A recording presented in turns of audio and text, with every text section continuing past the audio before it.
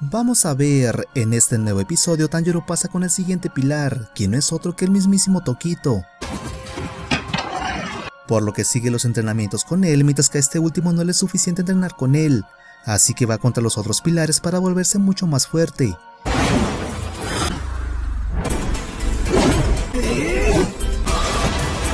Mientras notamos que siguen llegando muchos más espías de Musan. Así que ponte cómodo y déjate cuento, Demon Slayer temporada 4, capítulo 4. Este episodio comienza con Tokito muy serio entrenando con los cazadores, donde parece que es muy estricto con ellos. En ese momento se da cuenta que justamente acaba de llegar Tanjiro, puesto que está en la siguiente fase del entrenamiento, la cual es con él. Así que Tokito está muy emocionado de verlo de nuevo. Al mismo tiempo, Tanjiro nota que el cuervo de Tokito sigue con las palabrotas como siempre, mientras nota que los cazadores ya están cansados de él. Al mismo tiempo, Tokito les da un descanso a los demás, ya que quiere llevar a Tanjiro a otro lado. Entonces le muestra que tiene uno de los herreros apoyándolo en el lugar, el cual le saluda muy contento a Tanjiro, mientras que Tokito le da una espada a Tanjiro, ya que le muestra que esta tiene un gran filo, lo cual notamos que deja impresionado a Tanjiro. Al mismo tiempo, Tokito comenta que es por ello que llevó al herrero ahí, ya que quiere mantener todas las espadas en buen estado, incluida, claro, la del mismo, puesto que le hace saber que deben estar listos para cualquier cosa. Más tarde sigue los entrenamientos con los demás, donde Tokito sigue muy estricto con los cazadores, así que todos le piden a Tanjiro que les ayude a suavizar un poco a Tokito, ya que si no ni siquiera podrán llegar a la batalla con los seres demoníacos. También se da cuenta que siempre por las tardes Tokito sale, y todos creen que se va a cenar o algo así, pero Tanjiro no está muy convencido con ello.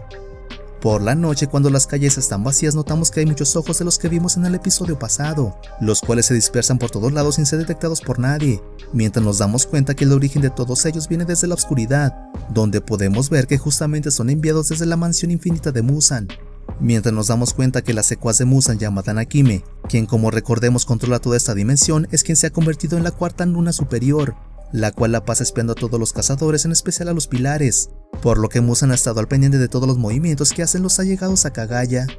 ¡Tengo miedo! Por otro lado, vemos que Sanemi se acerca a toda velocidad, quien por la noche está en sus entrenamientos extra, por lo que hace su cuarta postura de combate, llamada Tormenta de Arena Ascendente, demostrando así su gran poderío, mientras que Obanai por su parte ya estaba por los cielos esperando tal técnica, por lo que este usa su quinta postura de respiración de la serpiente, llamada larga fila serpenteante, con la cual como ya hemos visto antes saca sus serpientes, así que rápidamente sale contra Sanemi. Entonces podemos apreciar un verdadero combate de pilar contra pilar, donde ambos están de acuerdo que sus fuerzas son muy parecidas. Déjenme saber en los comentarios cuál de los dos creen que ganarían un combate real. Al mismo tiempo se dan cuenta que llega Tokito, quien les dice que también se quiere divertir junto con ellos para así volverse más fuerte, mientras que Sanemi le dice que si no está cansado de entrenar con los cazadores. Tokito le contesta que ese entrenamiento solo le sirve a los cazadores, pero que para él no es suficiente, así que quiere llevar las cosas a otro nivel, mientras que Sanemi le sigue la palabra ya que es la forma más rápida para que los pilares se vuelvan más fuertes, la cual no es otra que enfrentarse entre ellos. Tokito está de acuerdo y cree que no es justo que solo ellos entrenen entre ellos, por lo que les pide que lo dejen unirse. Debido a ello, Banai le dice que no se preocupe y que si quiere puede unirse, además de que entre los dos irán contra él para darle su buena bienvenida y que se ponga al corriente con estos entrenamientos. Entonces Tokito les dice que le parece algo desequilibrado, Prepárate porque la vas a pasar mal. pero que le parece perfecto para él, así que les dice que se preparen, ya que no se los dejará nada fácil, por lo que prepara su postura y sale a toda velocidad hacia ellos, donde el primero en toparse es Obanai, pero le pasa a tal velocidad que ni siquiera este puede verlo con claridad. Después va contra Sanemi con quien rápidamente choca sus espadas de entrenamiento de madera, y parece que ambos están al mismo nivel también, así que todos demuestran por qué fueron nombrados pilares. En ese momento se une también Obanai, por lo que empieza una lucha entre pilares donde sacan sus mejores técnicas, mientras notamos que no paran de ir contra ellos, por lo que pronto vemos una triple liberación de energía por todo el campo, donde los tres van con todo para lograr superar sus límites y despertar aquella marca legendaria, mientras que los cuervos cerca les echan las porras a sus amigos, pero pronto les piden a su manera que no los desconcentren. Pasa un rato, podemos ver que el campo de batalla es una muestra de que los entrenamientos están siendo muy efectivos, al mismo tiempo que vemos que los pilares están muy cansados por el entrenamiento, donde Sanemi les dice que cualquier distracción pudo haber sido perjudicial para cualquiera. por lo que cree que van por un buen camino. Además también comenta que entrenar con los cazadores por la mañana y después concluir ahí con los pilares es lo mejor que pueden hacer, ya que con esto mejorarán sus habilidades, mientras le preguntan a Tokito cómo va con los suyos, y este les dice que va muy bien, y que incluso justo ese día acaba de recibir a Tanjiro. Entonces Tokito les dice que se ha vuelto muy fuerte y que este está sanando muy rápido, por lo que pronto lo mandará con Obanai, el cual menciona que lo podrá poner a prueba al máximo y ver qué tan fuerte se ha vuelto en realidad.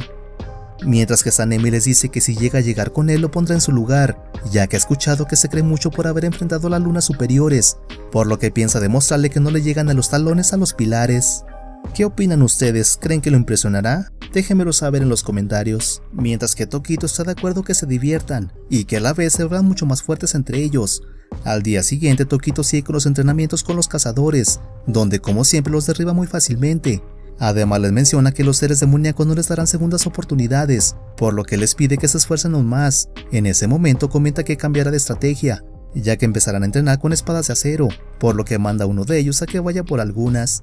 Al mismo tiempo, Tanjiro no está de acuerdo si esto sea lo correcto, pero no les queda de otra que seguir con las indicaciones, así que pronto es el turno de uno de los cazadores, quien queda pasmado frente a Tokito, ya que sabe que es claro que nunca lo vencería. ¡Tengo miedo! Debido a ello surge una gran tensión en el lugar, por lo que rápidamente Tanjiro quiere detenerlos, ya que sabe que no sería capaz, aunque justamente en ese momento el cazador se detiene primero, mientras menciona que no sería capaz de ganarle, por lo que Tokito les dice que podría ser un avance, ya que supo evaluar la situación y luchar cuando es debido. Al mismo tiempo el cazador le dice que todos saben que intenta volverlos más fuertes, mientras que él se esfuerza al doble, ya que lo han visto cómo se cura en las mañanas después de entrenar por las noches, así que le agradece por todo y le dice que no dejarán de entrenar.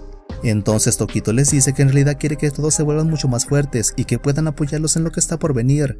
Pasan los días donde vemos que entrena con Tanjiro, el cual está muy emocionado de entrenar con un pilar. Entonces Tokito le da las indicaciones a Tanjiro de cómo moverse con la espada de madera, mientras nota que Tanjiro es muy hábil, ya que se sigue todas las indicaciones al pie de la letra.